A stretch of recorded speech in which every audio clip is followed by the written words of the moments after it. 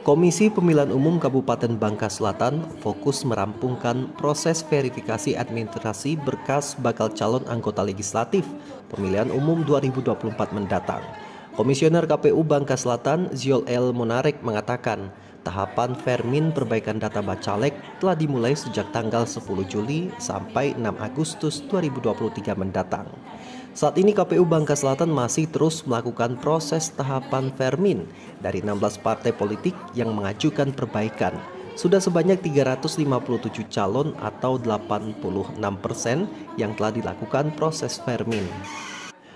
Proses tahapan Vermin berkas bacalon anggota legislatif peserta pemilu 2024 ini turut diawasi oleh Badan Pengawas Pemilu.